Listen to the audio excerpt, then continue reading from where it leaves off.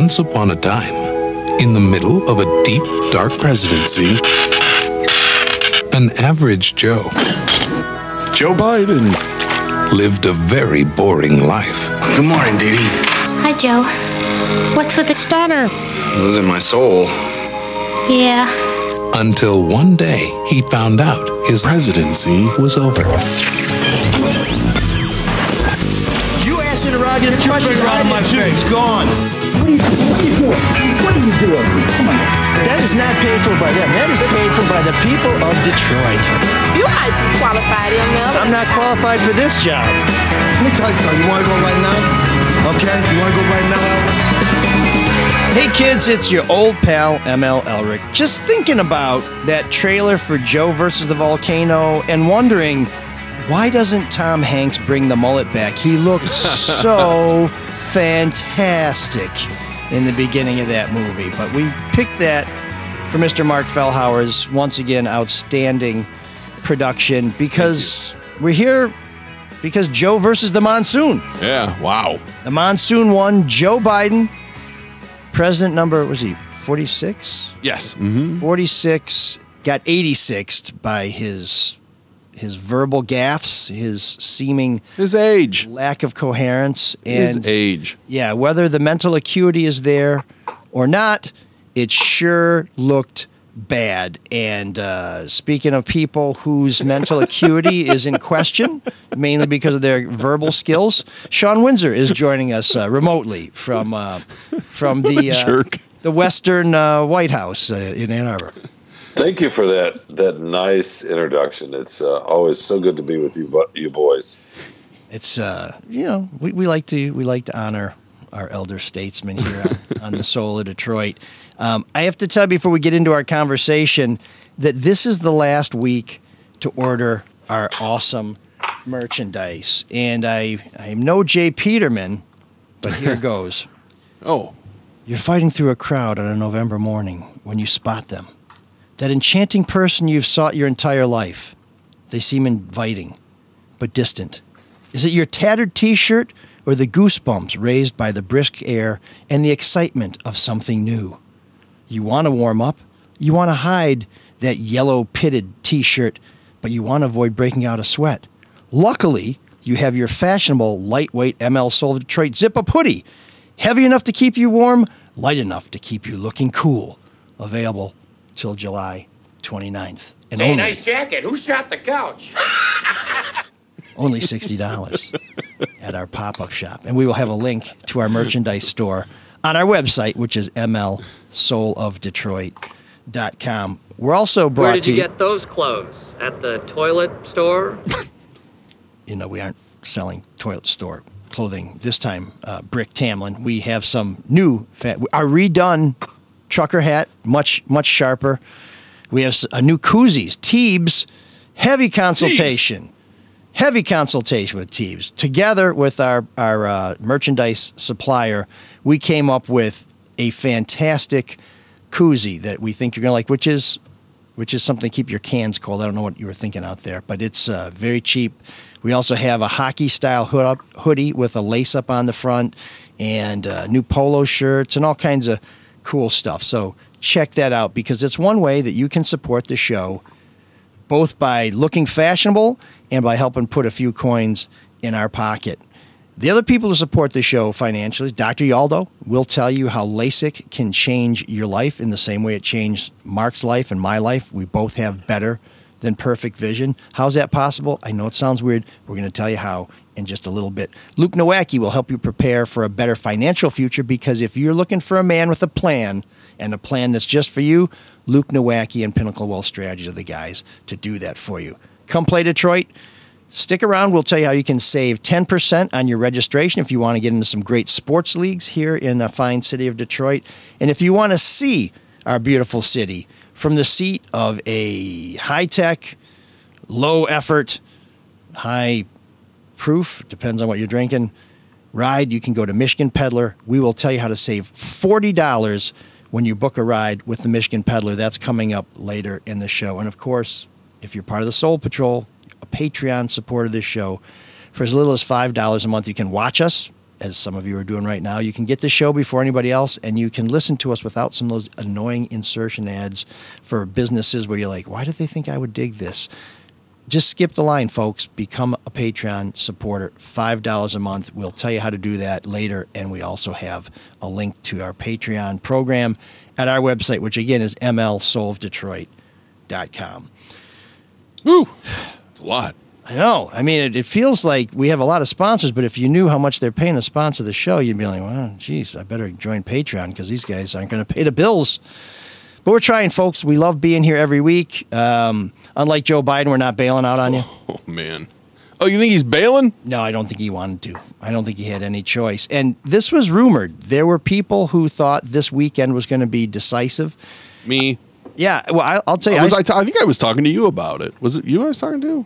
Or Charlie, one of them. I'm like, it's, he's done by the end of this. people often weekend. confuse us. Well, I do because I talk to both of you guys a lot. But um, the thing that really stuck out to stuck out to me was last Thursday when they're like, "Hey, we only got 25 percent of the donations we thought we were going to get in the last month," and it's like, okay, it's over then because it's all about money. Yeah, I think when the donors tell you you see they're the record uh, record setting donations or not uh, fundraising yesterday? No, Or Sunday rather. No, I did not. Did it they- exceed the uh, the donations that Trump brought in after the debate? Because I thought that was pretty epic. Well, no, it was for sure, and I, I, I don't know about compared to Republicans. Just the, the Democrats, it was the most single day raise they've had. It was like sixty six million bucks from the minute the announcement came until last till Sunday night. I wonder how many of those da- donations were pledges that were withheld Yeah, once It's a Joe good said, question. That's "I'm a not, fair question. I'm not turning back," because you know Thursday, uh, you know I, I typically work Monday through Thursday at the Free Press. Friday I teach and I have a student investigative reporting program. But before I went home on Thursday, my boss James Hill, who's the political editor, said or oversees the political team, said, "Hey." Um, thinking we may need to call you this weekend. Are you going to be around? And do you have an idea for a column if Joe Biden drops out? And I thought, yeah, I mean, hell, we were talking about on this show two weeks ago. What happens if Gretchen Whitmer gets involved either as a candidate for president, vice president, or goes to Washington? The ramifications down ballot, and, you know, Garlin Gilchrist as governor, Mike Duggan, all of a sudden, maybe he stays as mayor. What happens to the city council? I mean, it's a good show, and I'm, I feel like we were somewhat prescient, even though we don't know what Whitmer's going to do as we record this. Oh, she's already come out and uh, supported um, Kamala. Oh, right, but I mean, we don't know. Oh, you know, could she? Could Oh, could she jump yeah, into the ticket? will she be on the ticket? yeah, if she's sure. not on the ticket, will she be offered a cabinet post? We wouldn't know that until January. If she takes a cabinet post, you know what happens back here in Michigan and Detroit. So we chopped it up pretty good last week. But so I thought, okay, I'm on standby. Well, it gets to be about I don't know two in the afternoon on Sunday, and I haven't heard anything. Biden's digging in his heels, and I thought, well, I guess he's sticking it out. And all of a sudden, bam, he's out. I mean, where were you guys when that happened? What were you thinking? Shawn. Did I needed to get did I needed to get dressed? wait, you weren't dressed at Two o'clock two on in a the Sunday? afternoon? I'm, I'm joking. I'm I, mean, joking. I know No, you I run was- a nudist camp there in Washtenaw County, uh, Windsor's Wieners, but um, No, I and also a dachshund I- I rescue, saw- so people no, are I- never sure what's going on there. I saw it on my phone, and I was uh, I don't remember what I was doing. I may have been. Wait, oh, so you were naked a- and looking eating- at your phone. I was think I know what you were doing. I doing. was eating an egg salad sandwich. Naked?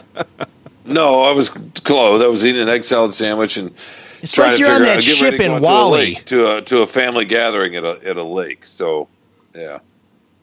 And I assume that was the talk of the whole gathering, right? Yeah, Shawn's skinny Uh, It, it absolutely was. In fact, there were two Swedes there. Both of them had moved. They were brothers, and they'd moved to the states. Uh, one of them was a ship cruise engineer. Of course, there were two Miami in- Swedes in, there. the early '80s. And the other guy was sort of a handyman, but uh, no, it was it was interesting getting their perspective. You would think, oh, Swedes, you know, liberal, progressive, but no, the one was sort of a moderate, and the other one was a pretty hardcore uh, right winger because he spent his early adult youth in South Florida on a cruise ship, married a Tennessean, and um, ended up in Gatlinburg. And yeah, so it was interesting. Did you tell him that we played the final countdown on the podcast a couple weeks ago? No, I did not. Maybe I should have. Did you not know that we played the final countdown on the show a few weeks ago? Uh, the uh, the Pistons song. Yeah. Yeah, I do now. Okay. I just didn't know if you remembered it or not. The song by Swedish rockers Europe that was Yeah, adopted yeah, by the yeah, yeah. Pistons, no, you was, mean? No, it, it was totally the, everywhere you went. It was the talk. You know, the people are calling and texting. And Mike and I obviously know a lot of journalists, so we were getting texts about this is what it's like. Our, our friend uh, Ben Schmidt, Mike, uh, was an editor in Pittsburgh, said I picked the wrong. You know, I picked the wrong uh, business once again. So I'm, I'm just was- making some some notes for our show notes, and this one says Shawn naked with Swedes. I'm not sure well, they going to help our They listening. just had suits on. So well, one of them's more of a. I said you were naturalist. He- naked. he he just had a suit on. The other one was dressed. The Republican had a full sort of South Florida summertime look. The moderate had uh, the maybe he's even apolitical. He had a swimsuit and a long beard and nothing else. Oh, it just turned into RuPaul's Drag Race. I appreciate that. Thank you. Um, Yeah. But yeah, no, it, it, this is a day when journalists, no matter what you cover, are on high alert. And I'm, I'm, I guess they probably wouldn't have drawn sports in unless they told you, hey, don't worry about that column because we don't have room for it. We're going to fill the paper with reaction to this. And so I, I was sitting uh, on uh, on the deck reading the New York Times and the Free Press and just kind of enjoying a Sunday afternoon when it's like, okay, time to go. So at a family dinner I was supposed to be at 5:30 and I called them and said I probably am not going to be there. I'm going to be late and just sat down to start writing a column about what happens if Big Gretch goes to DC and um, and then then things just evolved. Remember, I was sort of like uh, Biden's dropping out. He hasn't endorsed Harris. Like, oh, he has endorsed Harris. Oh, some people wanted it to be an open convention. Oh, now they're endorsing Harris. I mean, it, it does oh, feel Joe like it's turning into is a going to re-register as a Democrat and get throw his name in. Remember that? yeah. Well, and then and then that, he's that since lasted said what, all of eight hours. Right. Yeah. Right. I mean, it's like, Joe, you're more hated among Democrats than Republicans. Him and Kyrsten Sinema, the two Democrats that Democrats love to hate. Well, it's really funny. In a perfect world, yeah, they'd probably have some kind of um, open primary like they didn't have um, this past, you know, fall and winter. But when it comes down to it, hey, it's the Biden Harris uh, campaign, so she gets all that money, she gets all that infrastructure. So it, it was almost a done deal when he stepped down. It's Yeah. probably cleaner that way too. I don't know what all the campaign finance laws are. Mike might have a better idea than me, but is isn't it a little cleaner that way in terms of the money Well, for one of the, Harris? because Harris has been on the ticket and part of the fundraising. So one of the things that I think they're trying to determine is does Biden officially withdraw as the nominee at a certain point? Because I think some of this, there's a timing issue. Like if this was given to Biden Harris Incorporated, do they have to reincorporate as Harris Biden? And and do they have to um, do it before the convention? Does she have to be officially the nominee? Does he have to be nominated then? I mean, I, I've been reading about it. It's so convoluted. It's hard to make sense of. And of course, the Republicans, as they should, are trying to cause trouble and say, oh, there's some legal questions. I don't think you can have all that money. And, well, if, if they're on the ticket in these states as Biden Harris, can they switch it to Harris Biden? And I'm sure one guy who's really interested in that question is RFK Jr. because he got excluded from some states because he couldn't get some of the paperwork done. So this is going to set off a whole cascade of what ifs and legal challenges. And it's going to be very distracting. And, you know, frankly, the Republicans are smart to try and throw as much sand in everybody's face with this because the Democrats, as as Marc and I were texting on Sunday after this broke, were like, "Oh, Marc's like, this is going to be good. The Democrats, you know, can finally stop fighting amongst themselves." And I'm like, "Yeah, that's what that's what Democrats do really well is mm-hmm. coalesce. You know, this is the party of chaos. The fact that they've been so united in Michigan behind Whitmer and Benson and Nessel is nothing short of miraculous." And some of their natural fractiousness that we've seen has reemerged as Biden looked like he wasn't fit to, uh, you know, I remember people saying the same thing about the Trump campaign in 20 end of 2015, 2016. Granted, not this late too. About they're in chaos. They're fighting amongst themselves. It's like no, those people want to win. They really do rally. You know. wait a second, you guys were texting yesterday, and uh, I wasn't part of it. But I understand. I understand. You were part of it because The we other- were afraid you're going to. FaceTime us naked with an egg salad sandwich on your chest Two and two Swedish guys waxing your back. Oh, is that why your names kept pop, popping up in my phone? Okay, now I get now. I get All right, I, I have a question for you guys because I was Sweet it is. I was sitting at home. Uh, I think we were wa- we were watching a family movie, so naturally I was in my phone the whole time. what movie? Uh, they just finished reading a book called The City of Embers, so we watched. Um, they made it into a movie, which failed horribly. Terrible version of the book, but I w- really wasn't. I wasn't paying that much attention. I was playing games on my phone and doing other things, and it came across.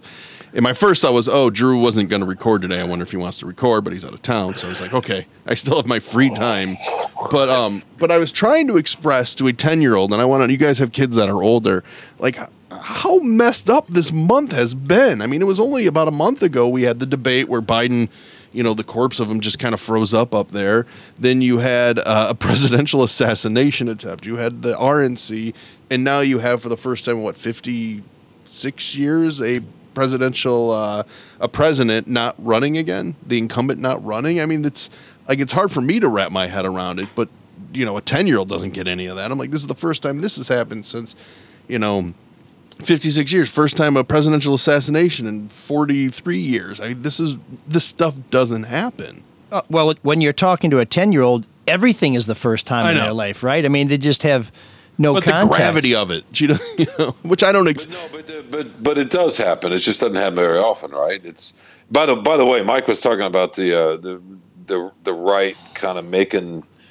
not not making uh, I Mischief. mean make, I don't know driving some kind of question of how legitimate this is and is it legal and we saw Speaker Johnson hint at that yesterday or hint at that Sunday afternoon. Another thing they're doing I've been seeing all this all morning is that this was some kind of coup, right? Trying to delegitimize Harris and whoever she picks as that this is some kind of Russian type of style of coup. Oh, and that's been that's been interesting. I've seen that all over social media. I think that's i think that's giving her too much credit no right. I mean, uh, have you guys seen that or noticed that that that's another way to try to another angle for them? What, that she's she's a sleeper agent? Well, that Biden In- no, in that Biden was pantsuit? pushed out. That this she that this pushed was, him out yeah Yeah, that he didn't want Oh. anything, or maybe not even she did, but this was the, the tiny little cabal of nefarious folks. This isn't democratic at all. Th- th- This isn't uh, power to the people that the Democrats always say they love. This is actually a, uh, A palace coup. backroom, backroom, cigar-filled Chicago's era uh, mutiny. um maybe hey maybe it was Well, you if know because the campaign denied that he was step aside for the longest time and then Politico reported that yeah they finally went to him on sunday morning and said here's our internal polling there's no way you're going to beat trump yeah, and that apparently is what lit, finally lit a light bulb Well, I think I think they're um, i- if it was a, if it was a coup, it was one of the best orchestrated ever because Harris did exactly what she should do. She went out there and fought as hard as she possibly could to make it look like she supported Biden to the bitter end, so that when it was given to her, or when she ascended, however you want to look at it, or stepped into the role, it didn't look like you know she was trying to push the old man off the stairs to Air Force One or put a banana peel, you know, on the tarmac or something. But but th- that debate, you know, to me, that debate was the most significant debate since the Kennedy Nixon debate, where Nixon wasn't wearing makeup, was sweating, looked nervous, and Kennedy was, you know, cool and calm and handsome and looked ready to take over. And I think Biden could have survived that debate because we've seen people stumble in debates before. But Oh. every appearance he had after that, where he needed to come back strong, he's he's calling Zelensky President Putin. He's referring to Harris as as Vice President Trump. You know, his stutter clearly is something that he can't control anymore, and it's causing him all these malaprops. He he just looks he looks like he's he's running out of gas, and it then was that, Mike, Mike, Mike. Can I just stop you there for a second? It was that. E- Everybody makes mistakes and misses names, and, and Trump does that. It- but Trump has energy. The the last couple of weeks, and anytime you saw Biden, I'm sure you guys saw plenty of clips of him just trying to walk, let alone take stairs. He looks so unsteady and he moves so slowly that just the image of that's like, how can this guy survive? I mean- not survive, but how can he be president four more years? Well, the other thing is, I saw Bernie Sanders on TV on Friday, Mm. and uh, and Bernie you know, he's a ball of energy, and he's like, you know, Joe Biden has been the best president for labor. He's been great for labor. He did this. He did more than anybody's ever done as a president. And he's going off. And at the end, the interviewer says, "Well, you know, as a fellow 81 years, no, I'm 82."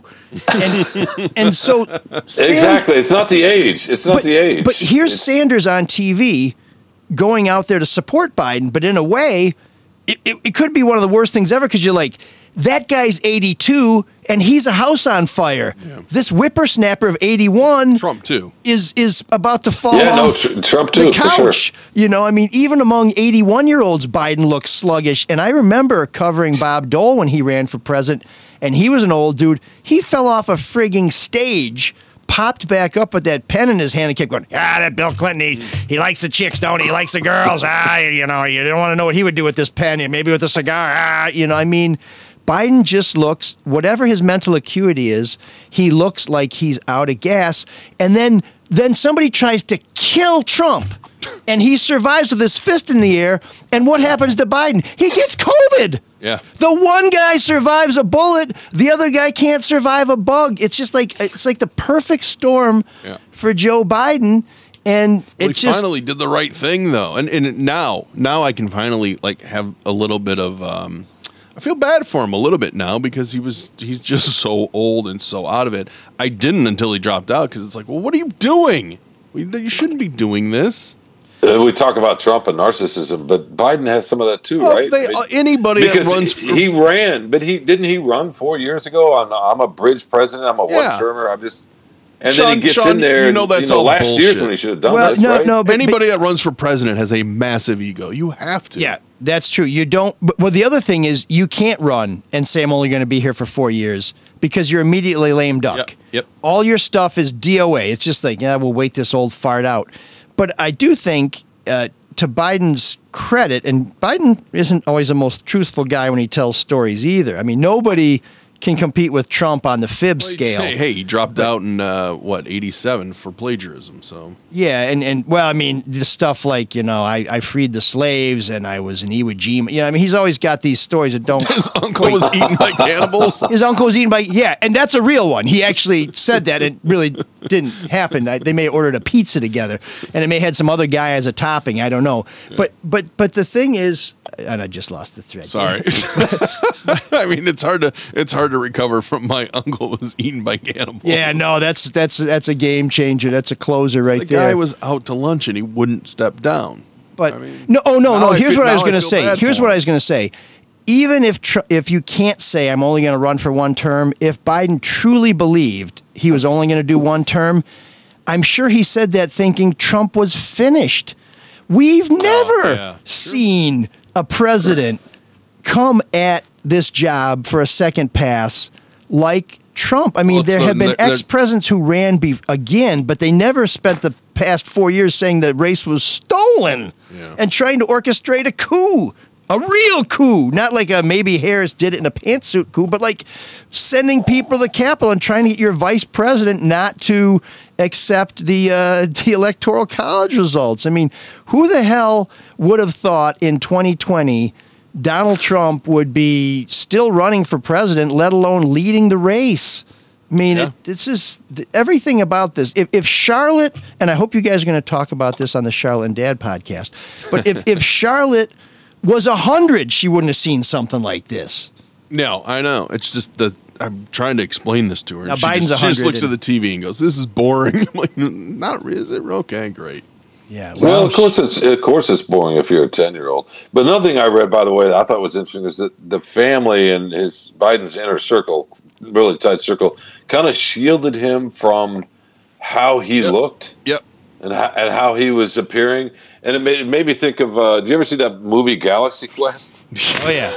yes.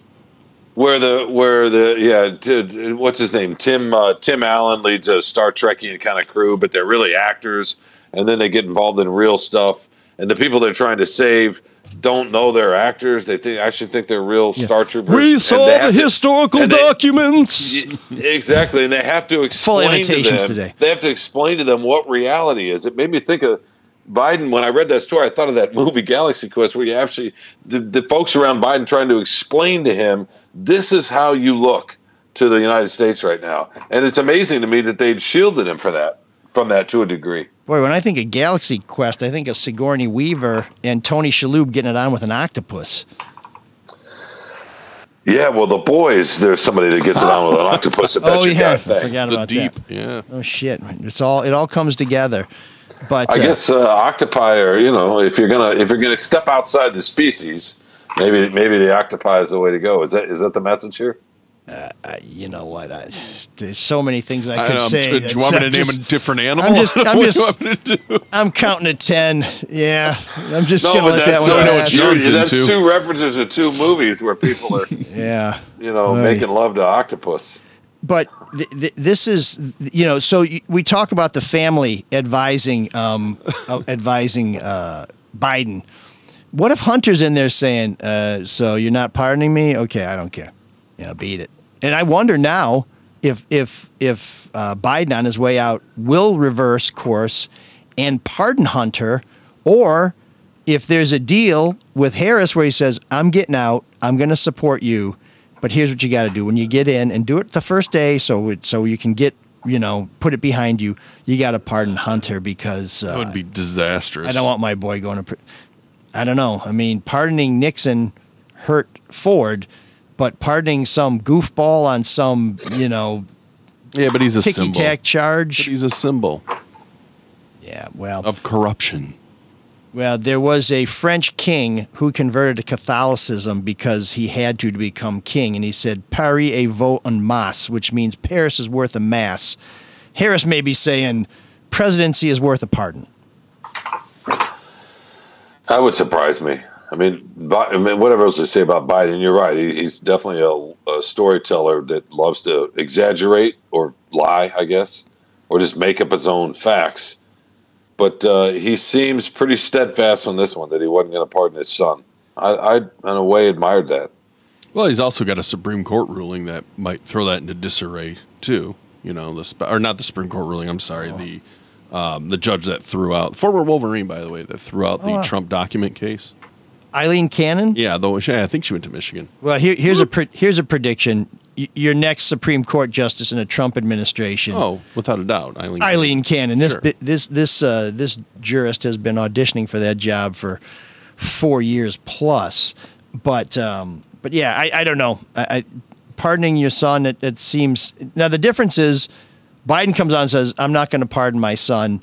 Trump, when he was president, was like, well, if anybody gets a phone call from the FBI, you know, there's a pardon waiting for you. So, I mean, the, the contrast between these two presidents, just in terms of tone, in terms of energy, is is in terms of hair color, although natural hair color they may be pretty close, is is staggering.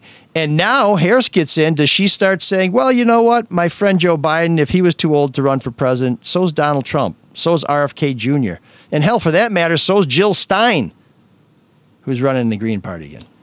So Harris is 59, and uh, which is a, a year older than I am. I hate to say that, but it's it's the truth. And she's been a district attorney, an attorney general, a senator, and a VP.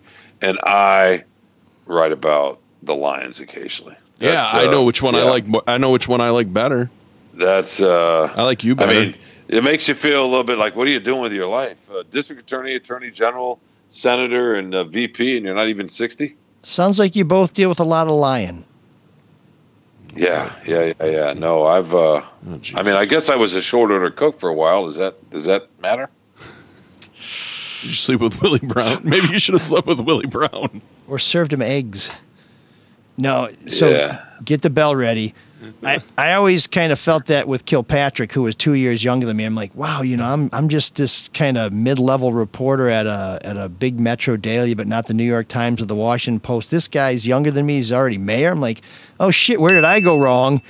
And then he got a 28 year prison sentence. I thought, no, I think I think I'm just going to keep moving at my pace. Hey, it's it's that's- real. It's a real simple answer. Stop focusing on all the successful people and focus on all the losers around you. That if you want to feel better. Well, I don't There's really focus on either one. It's just I was just um, kind of prepping for the the pod this morning and going through and looking at stuff, and that and a tweet popped up about what she's been, and she's 59, and it just struck me like, oh, That's a that's a decent amount of accomplishment. Yeah, but you didn't. Um, I don't know. Uh, you didn't. By age twenty, you didn't shoot at a president like Thomas Crook, so you got that going Well- for you. Well, it's also it also obviously means law school too, and the idea of, I mean, could you imagine? Could either of you imagine going to that much schooling or or becoming No. a doctor, going to No. twelve years of schooling? Absolutely not. dude you know i i, I um I, I thought about law school when I was in, in high school. I thought I was going to be a lawyer and then switched to journalism at the last minute.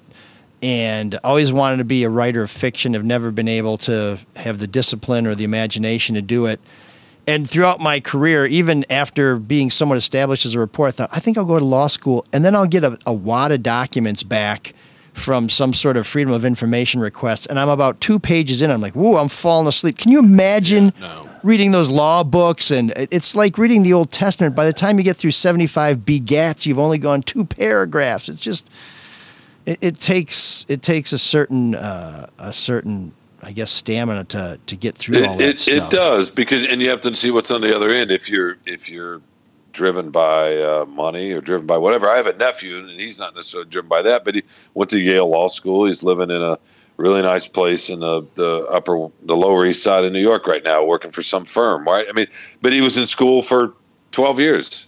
Well- and internships, and you know, it's it's just it it takes it takes a very uh, a a very powerful intellect to do something like become a doctor or a lawyer and I respect that and I realize I don't have those skills but I'm constantly constantly staggered by how many really stupid doctors and lawyers I meet I'm like how did they get through that course when these guys can barely you know tie their own damn shoes Now wait, when you say stupid, you mean stupid in their field or stupid in? no, I mean like when you talk, I'm like, who's this idiot? And like, he's a doctor. I'm like, not my doctor. yeah, but maybe they know their way around uh, their their specialty. Well, yeah. I mean, I it, mean, it that- could be one of the these hope, things right? where they they can tell what every insect is because they love to study that. You know? and, and then you ask them, well, what about them tigers? They're like, well, there's the tiger fly. No, no, I mean the Detroit Tigers. Well, I don't know. What are they? Well, a cricket team? It's what? Well, even even within the field, though, and, and I was a medical writer for about five years at a newspaper in Alabama, and so I was around a lot of doctors and just hospital administrators, nurses, the whole the whole medical field. And even within doctors, there's a difference between, say, internists and surgeons. So, and I remember the guy that did the, the last time I blew my knee out, my orthopedic surgeon. He was he was good with his hands. He thought three dimensionally. He could see and think through the problem in my knee, but he wasn't all that bright. Whereas, which was interesting, and and I found that fairly common with with uh, surgeons. Yeah, I But mean, then, but then the internists, and it's funny. My brother, who's a veterinarian, always used to say the internists are the smart ones in medicine. Right? They're the ones that think things through, and have to have to have to deal with things you can't necessarily see. Well, Kramer Right. used to say the veterinarians were the smart ones because they could they could heal all those species, whereas a doctor only does humans. Well, my brother does like to say, "Hey, we have to figure out what the problem is, and they can't tell us what it is. we we got to diagnose without." It's like it's veterinarians get compared to pediatricians that way, right? It's funny. That's that that's kind of the joke. But uh, by the way, Mike, we have a colleague who went to law school and then decided to become a journalist. Retired now, the great uh, David Zeman. Yeah, real idiot. no, that guy went to more good colleges than I uh, know, I know. than anybody, and he ends up as a journalist. I'm like, I'm glad I didn't waste all my time getting those degrees. yeah, he went to Michigan and North Carolina. North Carolina, yeah, and I think he, I think he went to Miami for a while too. I law- think he may have got. Uh, school. that's the thing about a law undergraduate degree, though. You can pretty much work almost anywhere because everybody needs a lawyer in every industry. Same with business. You can do a lot with just a business degree. Yeah, well, and you see a lot of the lawyers verbiage. get into business because they figure if I can figure this shit out, I can figure Sure. that shit. Lawyers like to run everything, and this whole country was put together by lawyers, which is why it's so complicated. They, it's like an employment program for themselves, where it's like, well, if you want to get anything done, you need to hire a lawyer. It's like high fives. Job security. Yeah, I get it. exactly. It to- totally makes sense. My Jeez. brother's a what's lawyer. wrong with, then what's wrong with us? What happened to us, huh? Well, somebody's Sitting in got to a pay these basement Wearing, a, wearing an old navy plaid shirt. I mean, I'm wearing an old navy T-shirt, so that's that's fine. But uh, here It's we are. You know what I mean? I know my brother Which puts gets back bad, to my, you and the Swedes. my brother's a prosecutor. He puts bad people away, and here I sit in a basement all day, Yeah, fucking so- around. It's like you've been put away. Pretty It's a much. self-imposed sentence. Where'd your brother go to law school? Um, Appalachia School of Law, but I think he graduated from Toledo. I think he switched to Toledo Law. Hillbilly prosecutor. And he Oh, puts he the lives bad guys there, yeah. away. Yeah. Mm-hmm. Damn. Or is he? Or is he? Is he like the vice president? He did nothing but put weed smokers away. Oh no! Well, I, it's funny because he's he's a lot like me, very deadpan. I'm like, well, you know, what do you prosecute besides? Because he's had murder trials, which is just blows my mind to see him litigate. Because he's a pretty quiet guy. Um, but I'm like, well, what what are most of your cases? He goes, meth, opioids, and then it's back to meth, and then it's back to opioid. Like it's just a, a cycle down there. Where like meth will be high, then opioids will be high, then meth, then opioids. Damn, it makes you nostalgic for the days of White Lightning, White lightning, uh, Moonshine, Moonshine. oh, moonshine, yeah, and one of the best Burt Reynolds films ever. yeah. I had a jar of blackberry moonshine on my shelf for a long time. I was given to it at a NASCAR race 20 years ago and broke it out one night, and people got a little crazy. What happened? What the They got, Swedes they got do? naked and had some egg salad sandwich and jumped in a lake with a couple of foreign dudes who worked on And, ships. uh, my neighbors were over that that night. The Dutch, the Dutch neighbors, and uh, the, the the the guy Where do you live at the the UN? husband had, had a little bit too much. Uh, had a too much of the blackberry. When do you hang out with I- I remember Americans? trying- I remember him stumbling into the uh, into the arborvitae's when they're growing together, kind of finding he couldn't find an opening. One in the morning, two in the morning, reminded me of the meme of Homer Simpson sort of backing into the bush, and then he sort of fell through. I don't know if he fell asleep on the grass. I don't know if he ever made it inside or whatever. Who knows?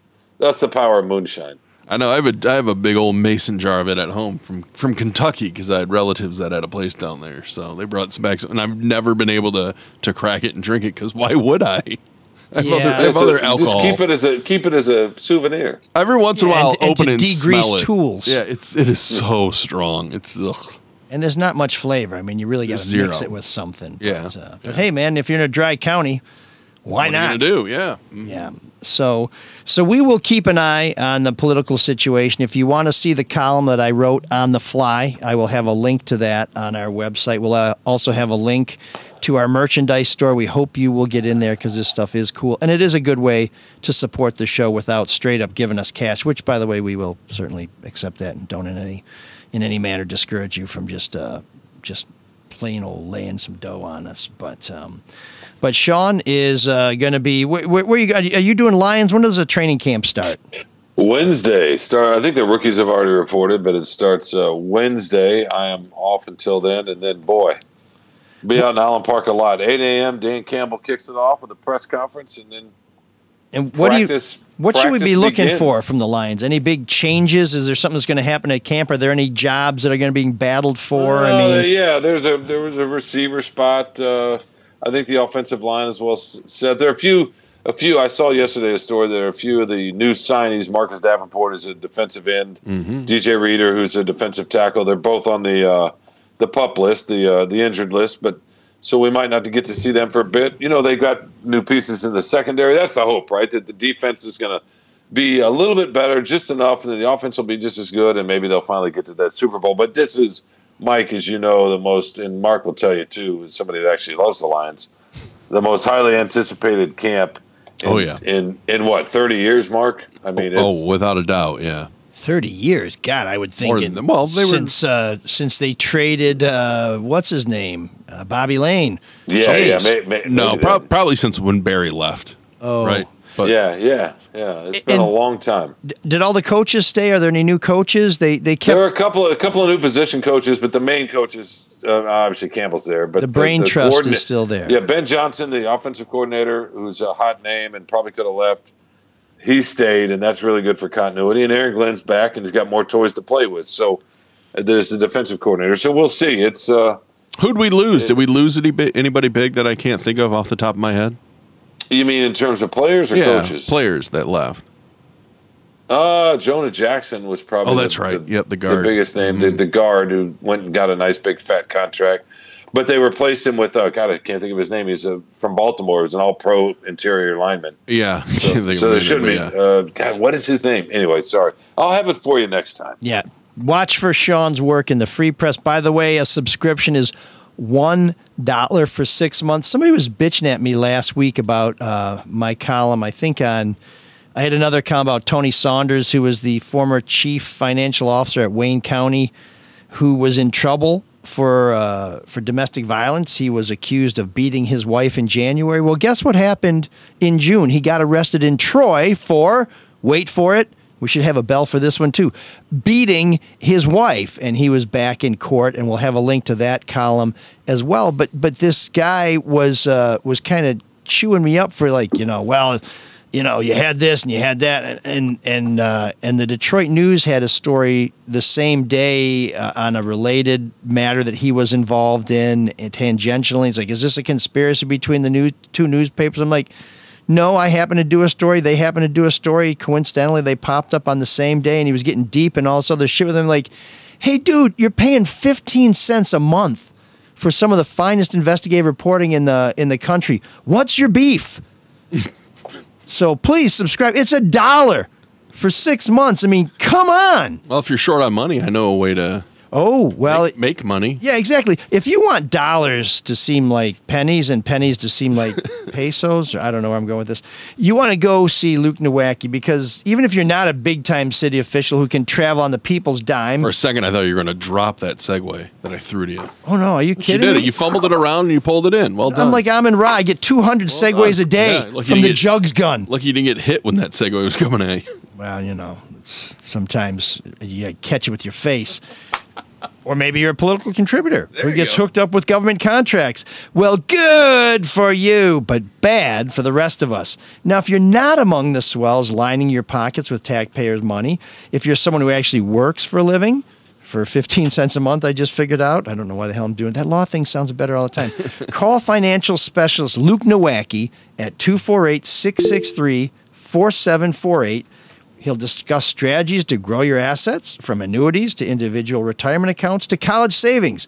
Make that call now. You've got kids and kleptocrats to feed. Luke Nowacki's at 248 663 4748. And you know what's going to happen when you call Luke? What? He'll make it all about you, sweetheart. Securities and investment advisory services offered through Mosaic Wealth. Inc. member FINRA SIPC. Mosaic Wealth. Inc. is separately owned and other entities and or marketing names, products or services referenced here are independent. Mosaic Wealth. Inc.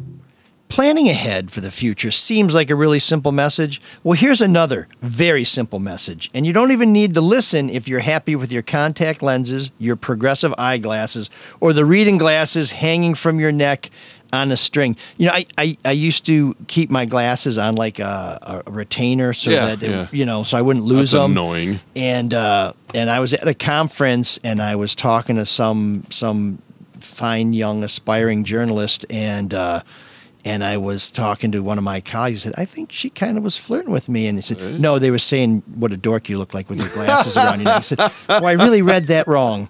Um, but if you've grown tired or annoyed by any of those visual crutches. That's a true story. Uh, then, cons- yeah, no, it's not good.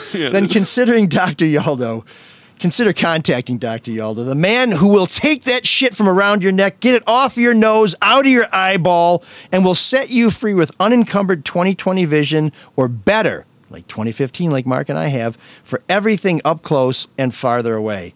For those of you 40 and beyond, bifocal lens implants do just that. They replace your aging lenses to give you stunning vision for life. From the small type on your phone to the computer screen to the menu to reading the coach's lips from the last row in the. Oh, Connor. Uh, Dr. Yaldo has done more LASIK and lens replacement procedures than anyone in Michigan. This gift of precision vision lasts a lifetime and it takes minutes and is relatively painless. So get the free evaluation, see what your options are. Call 1 800 398 EYES or visit yaldoeyecenter.com and we'll have a link to Dr. Yaldo's website on our website. When you see Luke and when you see Dr. Yaldo, please tell him that ML sent you. Oh man, the geeks have inherited the earth. Did I do that? What a dork. Does him wanting to play with us again mean that he's turning into a geek? Or we're turning into cool guys?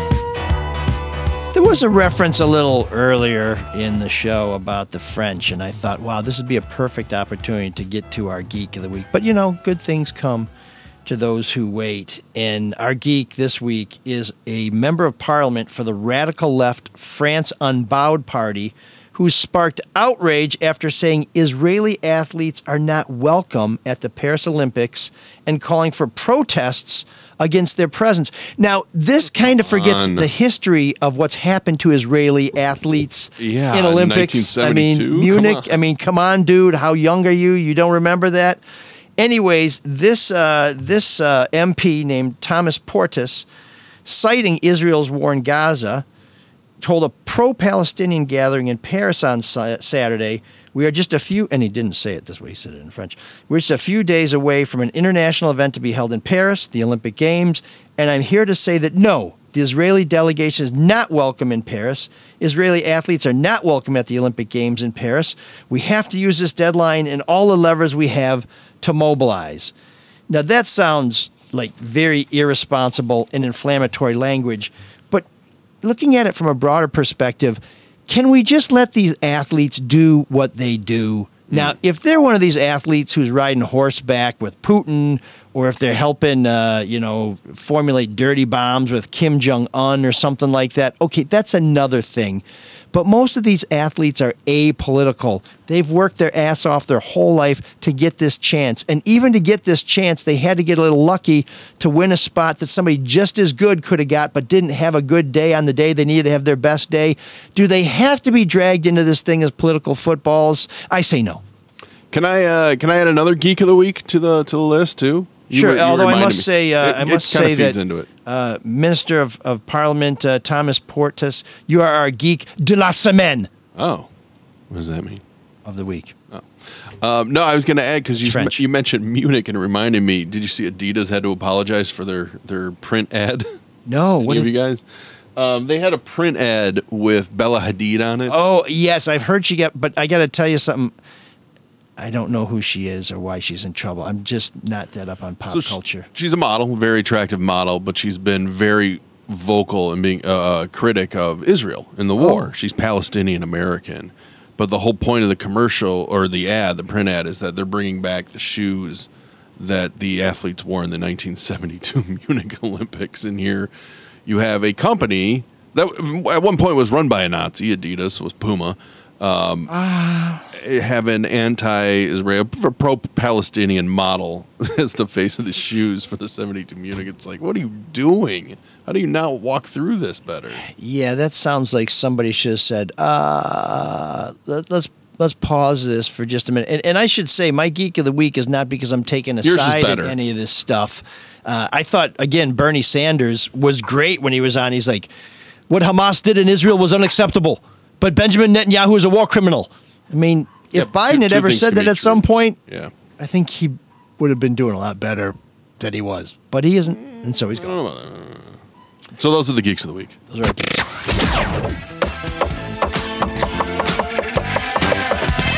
If there's an all-night party in room 7609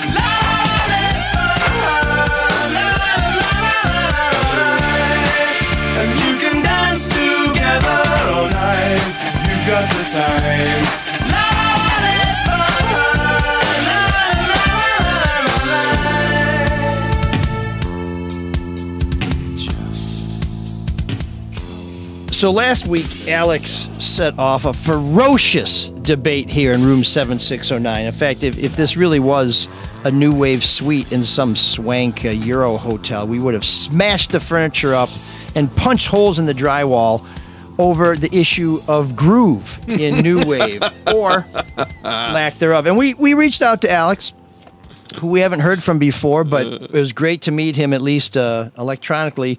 And he has picked up our challenge to explain. He says, Hey guys, I had to take some time to think about how to settle the debate from the last episode.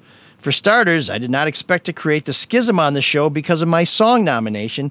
And he picked Electric Feel um, from, uh, what was the band? MGMT, right? MGMT, that's right. Secondly, I don't think I've heard Shawn that giddy before. I'm glad to hear my song made him so happy. I agree with both sides of the argument when it comes to music and how you listen. Growing up, I was in various band classes throughout middle and high school. I listened to plenty of music across the spectrum. I can name a tune from any genre that I thoroughly enjoy. Oh, yeah. Spread out. And unfortunately, ML, it is because of the groove, the way it makes you feel, or just a specific repeating chord structure. Yeah. I- don't dispute that. I can tap my toe to just about anything if it catches my ear. as new wave music often does. N- he didn't write that, but he should have. Now, with that said, there are also favorites that when you break down the lyrics, it's more engaging, and for that, I enjoy it. And I've been called someone who only cares about lyrics and not beats, and that's just just not true. More, more, not only, but more. Okay. For example, most La Dispute songs are more about the deeper, getting a little ponders now, Ah. Mo- more about the deeper meaning behind the lyrics as the reasoning why I like their stuff. Whereas other bands like Red Hot Chili Peppers, Talking Heads, or even some rap artists, it's the melodic formation of their songs or albums that are the reason, and I don't care about the words. For me, and maybe most people, is all about the groove of the song. And a song like Electric Feel back in 2008, it was about the feel of it. Plus, when you're young and a song like that gets the women dancing, you want to be where the girls are. It's a no brainer. Hope that helps, Alex. Well, I think it does. So this week, I've picked a new wave tune that not only has groove, but it expresses my feelings about Mr. Shawn Windsor. Hmm. It's Wham! Young Guns, go for it. And of course, the first words are, "Hey sucker." Talking to you, Shawn Windsor. Hey, sucker.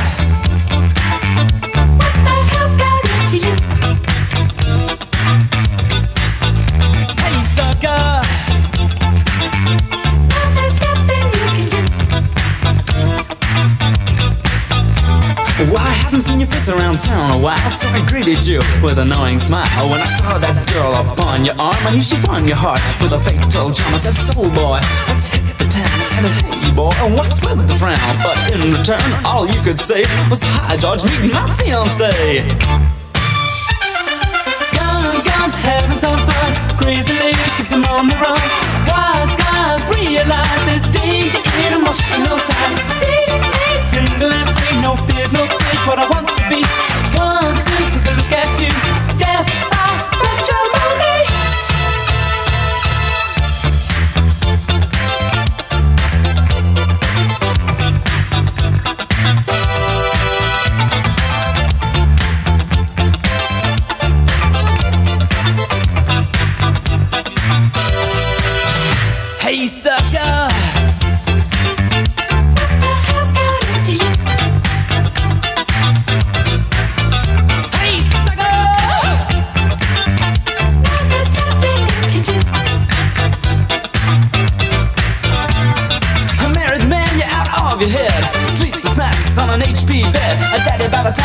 21. If you're happy with a nappy, then you're in for fun. But you're here and you're there. Well, there's guys like you just everywhere. And looking back on the good old days, well, this young gun says, Portion pays. Young guns having some fun. Crazy ladies keep them on the run. Wise guys realize there's danger in emotional ties. See me single and free, no fears, no tears. What I want to be. One, two, take a look at you. I remember when we had such fun and everything was fine. I remember when we used to have a good time, parties and crime. Tell me that's all in the past and I will gladly walk away.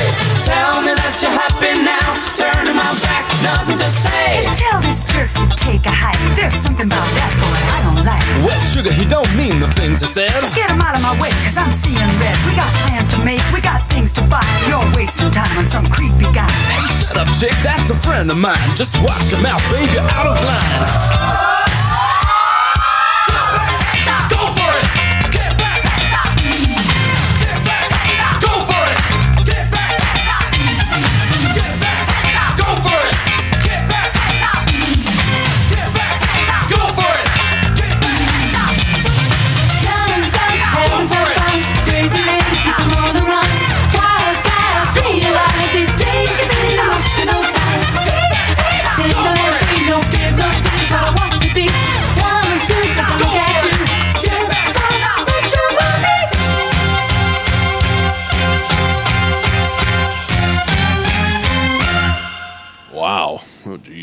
Hey, sucker! You catch that groove?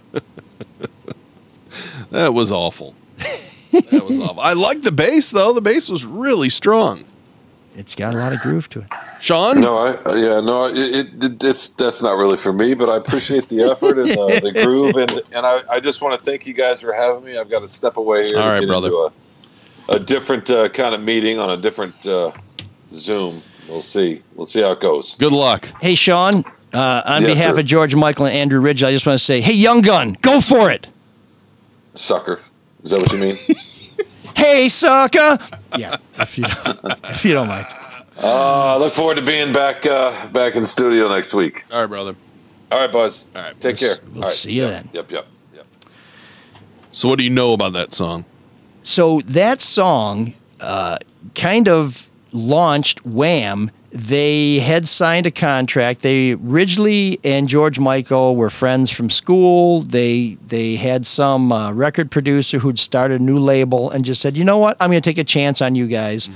They put together a few songs. Didn't really make much of a splash, but then an act canceled on top of the pops and Wham was the replacement artist, and they came on and they did Young Guns Go For It, and all of a sudden they took off, and they had a pretty uh, meteoric rise. It did not last very long because George Michael wanted to get away from sort of the appealing to young teenage girls and into more serious material. Um, you know, like uh, please uh, alert me before you leave was one of the themes, which turned into, of course, that thoughtful treatise on wake me up before you go go. But um, but yeah, he wanted to go in more of a, I guess, a more thoughtful direction. And Ridgeley's like, shit, man, this is all I know, and racing cars. So um, so that was the song that got them on the path to stardom. Was that so? Was that before uh, the infamous Wham rap? Do you remember that one or no? There's some pretty infamous rapping in there, and by Yeah. infamous, I No, I think it was called- famous for being bad. I think it was called Wham rap. It's so it's so. Oh, I don't awful. know. I don't know. So bad, yeah. Yeah, I, I just, I, I just don't, don't. and Wham's an uh, George Michael's an interesting dude. Period. I mean, what a what a crazy life.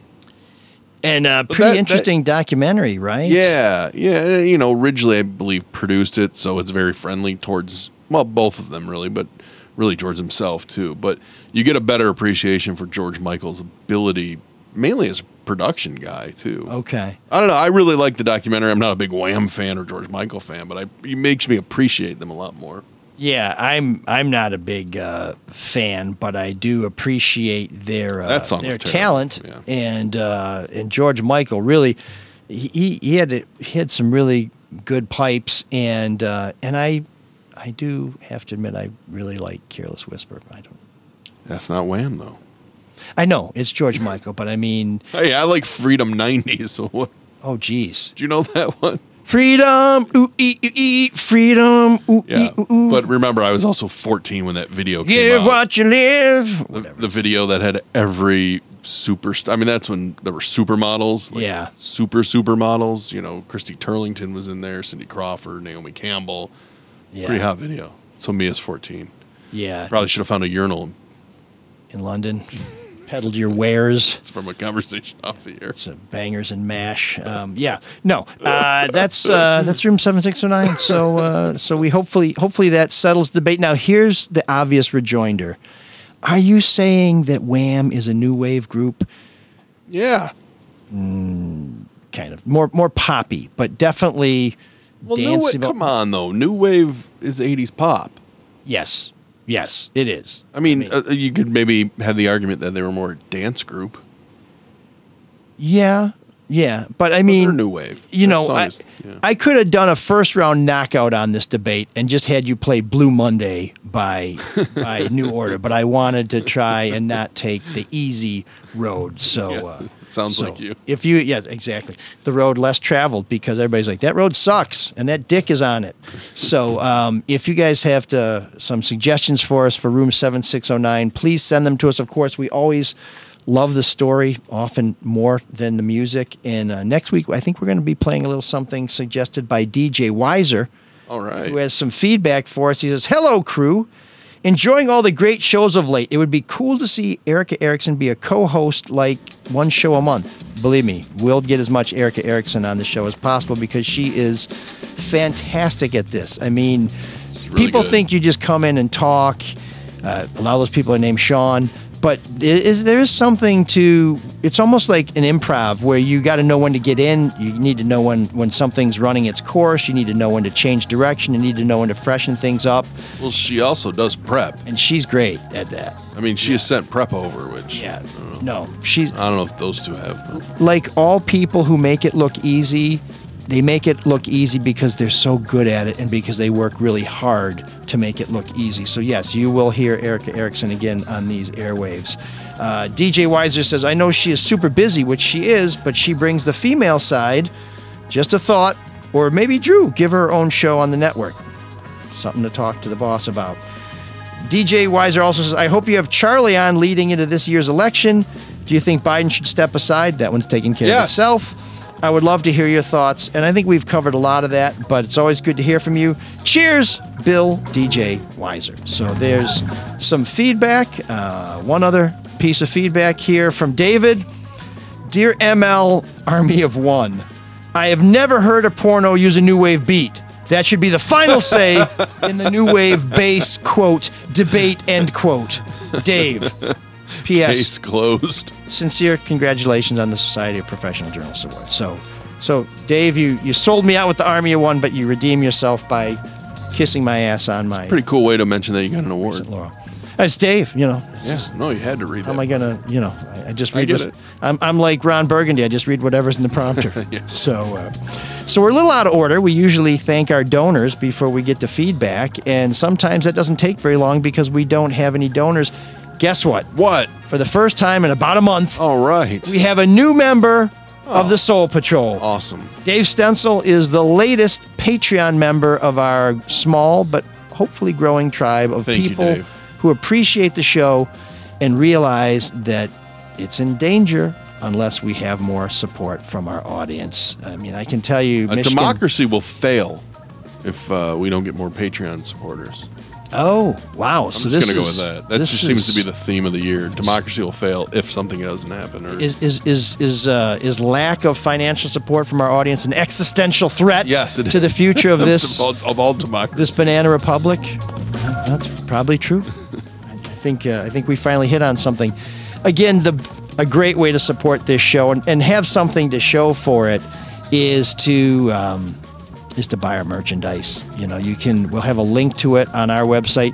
This is really high quality stuff, and if you think you know what we offer, we've changed up our classic T-shirt a little bit, given it a groovier look. We've got uh, new trucker hats, which I think are some of the sharpest we've ever offered. We got some cool stickers if you want to keep it on the low end. Beer koozies, uh, keep those cans cold. Um, zip up hoodie, hockey style hoodies, uh, some traditional hoodies, and a groovy new polo shirt. So please, uh, we'd really appreciate it. You'll be seeing me pimping this on X all week. If you see those like those posts, like them and share them and click through and see what we got. There is free shipping after a minimum purchase. And the way this pop up shop works is it's open until July 29th. That's Monday, July 29th at 8 p.m. You put your order in. We only make what you order, and then within two, maybe three weeks, they tend to be faster than that, we will ship the goods to you. So, this is our first sale of the year. Maybe we'll do it again around the holidays. Maybe we won't. Don't count on it. Get in now because this is some pretty cool gear. And we will have a link to the pop up shop on our sh- on our website, which is mlsoulofdetroit.com. So Now, I know you're not a natural beauty, but I think with the right clothes the right look, you could be very striking. And, and that's true. Danny McBride doesn't just say that shit. He, he knows what he's talking about. I mean, he's a preacher and an ex-ball player, and uh, I think also a school Kung fu administrator. artist. at- And a kung fu ti- artist. Oh, and a kung fu artist. Everyone always forgets about the the, hand foot fist. way. Yeah. So uh, so yeah, don't don't let Danny down. Um, Marc, I, I, was going to say what's up next, but after the past week we've had, I think anybody who predicts anything is just going to end up looking like a fool. Whole month. It's been the weirdest month in politics. Yeah, and life in general. Tigers are showing a little life. That's well, Really? flirting with 500. And we have the Olympics coming up. The Olympics are coming up, yeah, and uh, LeBron James is going to be the flag bearer at the Olympics. Is he What do you- really? yeah. What do you think about that? Why? Why him? Because he's the most popular athlete in the world. I don't know. I mean, How do they? What? I mean, what? Okay, is there supposed to be some I'm very fascinated by this, and it means nothing. It has no effect on the world whatsoever. But is there supposed to be some purpose to the flag bearer? Are they supposed to exemplify something? Yeah, I think they're supposed to be what we aspire to be, but I. But he's probably the richest person competing in the Olympics. Well, so so y- you just nailed it for me. I- love it when the flag bearer is somebody we don't know about who Yeah. has an amazing, compelling story, and this may be their only time getting some recognition. You know, maybe it's somebody from the uh, the flag football team or the uh, you know the what's the the skeleton or some Yeah, crazy yeah, shit like that or the sport, badminton team. What don't we know about LeBron James? What what honor hasn't he had? I mean, I'm not to knock him. I he's does- certainly worthy, but it's like, dude, giving this to him is just like, uh, okay, one more thing to do. Somebody else, Does Nike outfit the U.S. Olympic team or something? uh, Nike and like- Ralph Lauren. Oh well, there you go. I feel like Nike just went. Uh, yeah, we want our number one commodity out there carrying Yeah, at carrying the flag. at least he's he's not carrying. Uh, I mean, wouldn't Simone Biles even be better? She has a pretty compelling story, but also very well known and and, and highly decorated. Um, I know, but I'm just trying to think of somebody that you would have a problem with. That is, you know, I mean, she's dominated her sport more than he has, even really. Oh, I got no problem with with making it LeBron James. I'm just I I, just feel like I'm being robbed It's of an inspirational story um, because LeBron has enjoyed so much success that he's even transferred some of it onto his kid, who I almost feel sorry for because I think people are wailing on him just because he is LeBron's kid. But on the other hand, if he wasn't LeBron's kid, maybe he wouldn't be in a position to get wailed on. So I, I can't. I'll never reconcile that debate in my mind. But uh, This, this is really funny. So I just quickly looked up the last couple flag bearers for the Summer Olympics. uh-huh. And um, I mean, we're wrong. And there apparently has been a trend for more famous people. Sue Bird apparently was the last one in 2020. Okay. But you could argue pretty obscure women's basketball before Caitlin Clark and uh, and Angel Reese. I don't know that. that yeah, but listen to the rest of these because you'll Okay. you'll realize that she's well more and even back then was better known than a lot of these. So 2016, Michael Phelps, I think he kind of earned that. Flipper though- feet, yeah. Even though he might have been one of the richest athletes at that Olympics. and lots of lots of hardware on the shelf already. Lots of endorsements. 2012 in London, Mariel Zagunis, some fencer. Oh, well, there you go. Let's let's go with Mario. 2008, Lopez Lomong, track and field. 2004, Dawn Staley, basketball. Double L. I love it. Uh, 2000, Cliff Meidl, flatwater canoer. Oh yeah. Cl- uh, Also, is that, is that uh, even a sport anymore? also uh, retired to Cheers, didn't he? That's right. Bruce Baumgartner, wrestling. Okay, Uh, double B. Francie Larrieu Smith, track and field. Evelyn Ashford, track and field. Ed Burke, track Ashford, I think, was pretty big. Really? I think so, wasn't she? Or was it Ashford and Simpson? I'm thinking of lots of good groove for Sean. so I, you know, whatever. What does it matter? It's, it's really interesting though. LeBron just brings out Have they an emotional response from people. Maybe they just want the flag to be held higher than other teams' um, flags. I don't know. Yeah. Uh, have they had uh, retired people too? I mean, I remember. I, maybe Well, that's just for the athlete, torch, right? Yeah. I mean, I remember Muhammad Ali. I think Oh, when he almost lit on all of Atlanta on fire? Atlanta, Yeah, yeah. so I, I think maybe it's the running the leg of the torch that's the honorific. You know, where Yeah. it's uh, But you have to be on the U.S. team to carry the flag to flag. carry the flag. Okay. But I just, I think you could find somebody better than I LeBron. How about that wrestler from up north? I mean, there's a guy from the UP who's on the U.S. wrestling team. You, you can't tell me that he doesn't have an inspiring story. I mean, and, and someone who deserves he deserves recognition so much that I know about him, but I can't remember his name. Exactly. I mean, that's my man for the don't know. flag. Do you like the Olympics? Do you get into the Olympics? Um, some sports I do. Like, I mean, winter. I really love Winter Olympics. Okay. that's the one I, I really like. I, I find the uh, and there's a Spartan who's in the decathlon, so I'm gonna probably Oh, really? have to watch that. But uh, you know, when they had the dude with the gold shoes who was a sprinter. Yeah, Michael Johnson. Yeah, big dude. Uh, I liked watching him. Usain Bolt. I mean, holy smokes, that dude is insane. But the Summer Olympics just doesn't Really? do it for me. Although I think I was knocking doors um, when I was running for city council, and somebody had the Olympics on. Oh, that doesn't sound right because it would have been 2021, and I couldn't help myself looking. that, that's right because of COVID. Oh, right. Boot of the yes. Yeah, and I couldn't help myself when I was indoors looking in the window to see what was going on because you see the red, white, and blue, and you kind of get drawn in. It, this is an opportunity for us to be really proud of our Even country I for doing swear- something overseas that doesn't involve blowing people up. I believe 90% of the athletes train here in the U.S. It really feels that way. Oh yeah, I mean, I mean, a lot of them play college athletics here in the in the U.S. I, I, Ninety percent's a little high. It's probably honest. Probably like fifty percent train here or play college athletics. I, I don't think it's been good for the Olympics, but I did prefer when everybody was really an amateur. But now I'm going to get us into the whole NIL. For fuck's sake, give me a break. No one's allowed to make money if it fits your moral standing. No, I mean you can make money with sponsorships. There are lots of people did really well with that kind of stuff, and I'm glad. But but I think most of these obscure sports, even even when you have professionals allowed to compete, they're still scrambling to try and pay the bills. But I just I just liked that this was for people who had that commitment to their sport, and the people who are making money at it, well, they can they can benefit from it that way. But but if you want to be the best of the best.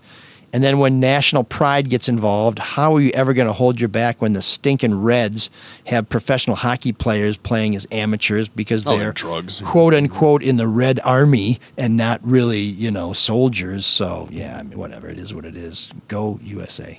It's funny. I'm just looking um, just for the University of Michigan perspective. Uh, athletes that are in the tournament. Uh-huh. Two basketball players are playing for Germany. The Wagner brothers, Franz and Oh, Mo, Mo, are both playing for Germany. Um, a women's basketball player. She's an incoming freshman. It's kind of a. This is kind of an interesting story. Incoming freshman of the women's team. So she hasn't even gone to school there yet. Is on the Canadian basketball team. She's only like 18. And don't you have that guy who was driving really fast on the pistol shooting team? Yeah, good one. Is he hilarious? No, that's not him. But here's another one Canadian, US, Malaysia, Syria, Bulgaria, USA, USA, USA, USA, USA, USA, another Syrian, Canada, South Africa, USA, Canada, Canada, Serbia, UAE, Australia, Israel, Israel, Norway, Brazil, USA, Canada. I mean, that's crazy. Brazil, Romania, Hong Kong, Hong Kong, Canada, This is in which sport? These are all sports. Oh, Just all the athletes and just the countries they're representing. And they actually played and participated at the University of Michigan in the NCAA. Oh, those are all Michigan athletes. Those are all Michigan Oh, athletes wow. representing different countries. San Marino, Serbia, another one, Mexico, USA, another San Marino. I- It's just it's bizarre. So when you watch the Olympics, it's really like watching the NCAA um, championships. So I, I wouldn't know how to tell them to win, but if they asked me for some advice, I would just say, young guns, go for it. Oh, good one. On that note, And just what is a sucker? Well, it's someone who pays full price. So make sure to take advantage of summer and book your tour on Detroit's favorite party bike, the Michigan Pedaler. 15 people can enjoy two hours touring and pedaling through Corktown, Midtown, and downtown, stopping for pictures and perhaps a beverage or two. The Michigan Pedaler offers the longest tours in Detroit, seat backs, and the friendliest staff to make your experience one to remember. Book your tour at MichiganPedaler.com. That's Michigan, P E D A L E R.com. And as an exclusive to ML Soul of Detroit listeners, you'll get the only promo code they're offering. Enter ML Soul in the promo code, that's M L S O U L, and receive $40 off the price of one of their 15 passenger party bike tours. You can also save with Come Play Detroit. I deal with a lot of people in Detroit who like to play games, but if you really want to play, there's no better way to do it than with Come Play Detroit. It's my choice for softball and volleyball, but they offer a wide variety, uh, wide variety of sports, and they play all year round, offering everything from one-day tournaments to seasons that last eight to ten weeks. You can sign up as an individual, as part of a small group, or as a full team. But go to Come Play Detroit and use promo code SOUL. S O U L, and you will get 10% off your first registration. It's a great way to get in the game and support the show. That's comeplaydetroit.com. now, Cyrus. Take us out. Can you dig that? Can you dig it? Can you dig it? Joe. Joe. Joe Biden. The story of a man, a mountain, and a miracle. Take me